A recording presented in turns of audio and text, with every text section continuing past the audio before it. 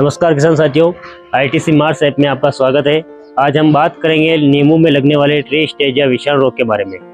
यह एक विषाणु जनित बीमारी है। यह नींबू में माही कीट के द्वारा फैलती है।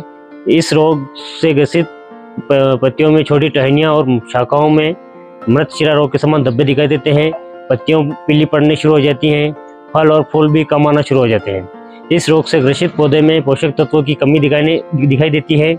जड़ों में भी सड़न शुरू हो जाती है। सात आठ सालों बाद पूरी तरह से सूख जाते हैं।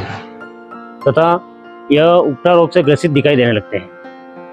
इसकी रोकथाम के लिए रोग अवरोधी मूलबंद का उपयोग करना चाहिए, जैसे रप लेमन, रंगपुर, लाइम, ऑरेंज आदि।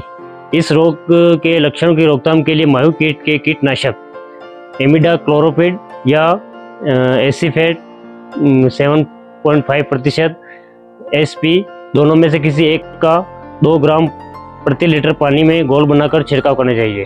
कृषि संबंधित अन्य जानकारी के लिए आज ही I T C MAARS app download करें और अधिक जानकारी के लिए one eight zero zero one zero three zero five four five पर संपर्क करें। धन्यवाद।